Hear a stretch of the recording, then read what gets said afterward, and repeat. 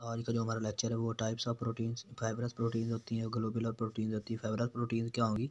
They are compose of one और more polypeptide chain के इसके अंदर वन और मोर पोलीपेप्टाइड चेन जो है वो आपस में अटैच होकर इसके फाइब्रिल्स बनाएगी present in the form of fibrils और ये मोस्टली सेकेंडरी स्ट्रक्चर जो हमने पढ़ा था बिटा प्लेटेड शीट और अल्फ़ा हेलिक्स वाला तो वो मोस्टली इसके अंदर आएगा फाइबरस प्रोटीन के अंदर। और ये अनसोलबल होती हैं नॉन क्रिस्टाइन होती हैं इनडेफिनेट शेप होगी जैसे अमॉर्फस फॉर्म होती है, और ये क्या होंगे एंड इलास्टिक इनके अंदर इलास्टिसिटी से मौजूद होगी।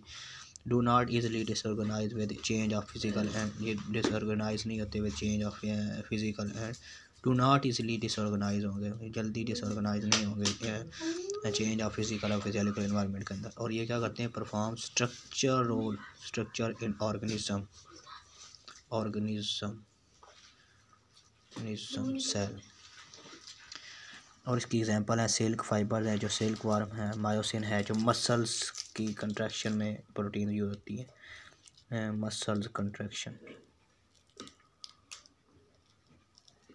मायोसिन और फाइब्रिन है फाइब्रिन क्या है? ब्लड क्लॉटिंग प्रोटीन है, जो ब्लड समटाइम्स क्या हो जाए? ब्लीडिंग हो रही होती है तो उसको क्लॉट्स बनाने, उसको रोकने के लिए फाइब्रिन प्रोटीन होती है, वो ब्लड क्लाटिंग बना देती हैं, ताकि ब्लड जो है ना, वो रुक जाए कंसनट्रेशन कैराटिन जो है हमारे हेयर और नेल्स के अंदर मौजूद होती है, हेयर एंड नेल्स के अंदर मौजूद होती है। तो ये इनके बारे के और अगर हमारे पास ग्लोबुलर प्रोटीन्स है, ग्लोबुलर प्रोटीन्स क्या होगी, ये कम्पैक्ट स्ट्रक्चर बनाने की रिजेक्ट होती है। मल्टीपल फोल्डिंग होती है, पॉलीपेप्टाइड चेन की मल्टीपल फोल्डिंग होगी।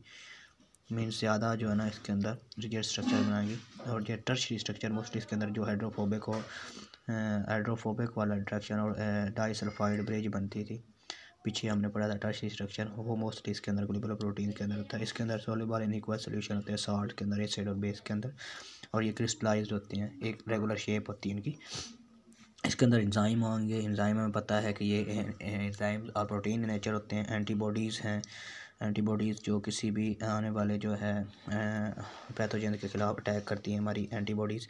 हार्मोन्स जितने भी हैं, वो सारे क्या हैं? ग्लोबुलर प्रोटीन्स है और हेमोग्लोबन जो है, कैरी ऑक्सीजन, ये भी बेसिकली क्या है, ग्लोबुलर प्रोटीन और इनके अंदर जो है टर्शरी स्ट्रक्चर मोस्टली प्रेजेंट होता है। अगर हम इसके फ़ंक्शन की बात करें तो फ़ंक्शन क्या है? सबसे पहले आता है हमारे पास स्ट्रक्चर प्रोटीन है। और ये क्या करती हैं? एनिमल्स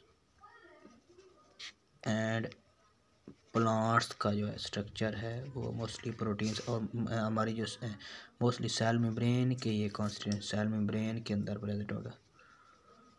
सेल मेम्ब्रेन में इसका अहम किरदार, जैसे हमने पढ़ा था प्लाज्मा मेम्ब्रेन जो सिक्सटी परसेंट प्रोटीन होती हैं और फोर्टी परसेंट इसके अंदर लिपिड्स मौजूद होते हैं। और ये क्या है मेजर जो ड्राई वेट ऑफ़ एनिमल तो प्लांट्स हैं, उनके अंदर जो है ड्राई वेट के अंदर मोस्टली प्रोटीन स्ट्रक्चर मटेरियल वहाँ पे ये प्रोटीन अहम किरदार होती है as a source of energy source of energy कैसे होंगे?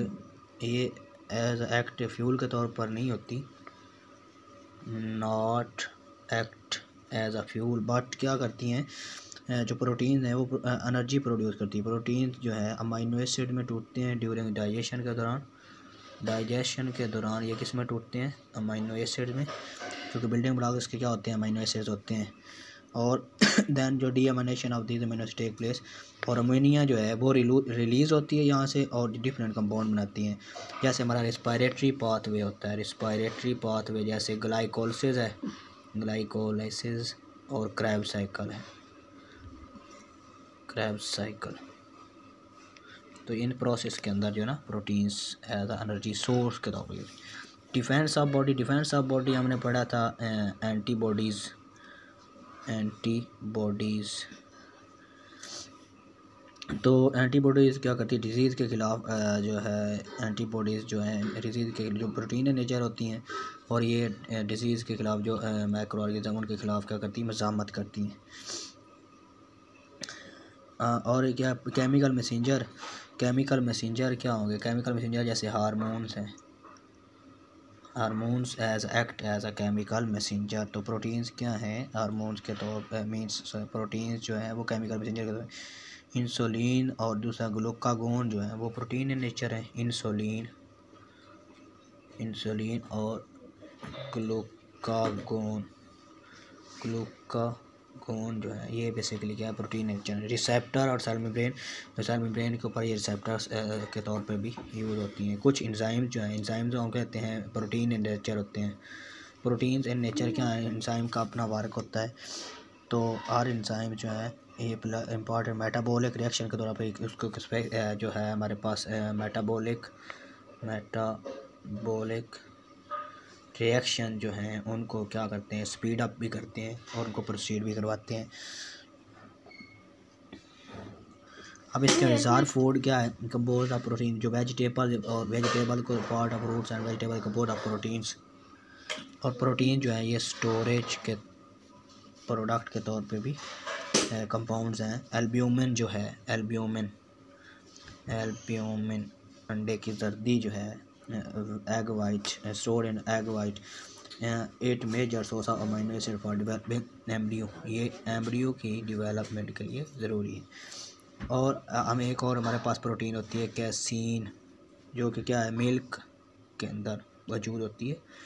और वो क्या है source of amino acid for baby mammals baby mammals के लिए वो क्या होती है? सोर्स मैमल्स के लिए वो फ़ूड का ज़रिया है। Fibre structure, fibre most of structure fibre plants animal protein nature structure fibre जो प्लांट्स और एनिमल्स के हैं। एक सेकेंड कंट्रैक्टिबिलिटी डाइनिन है। डाइनिन जो है सीलिया और फ्लेजेला एंड फ्लेजेला इनकी कंट्रैक्टिबिलिटी में ये और ट्यूबुलन प्रोटीन्स हैं। ट्यूब्यूलन ट्यूबुलर प्रोटीन जो है, ये आप स्पिंडल फाइबर और एक्टिन मायोसिन जो है मसल्स के अंदर एक्टिन और मायोसिन मसल्स के अंदर है ओके ऑप्शन के आपको लगता है, मैंने ओके लाफिज़। नेक्स्ट टाइम इंशाल्लाह जो है ना न्यूक्लिक एसिड बनेंगे।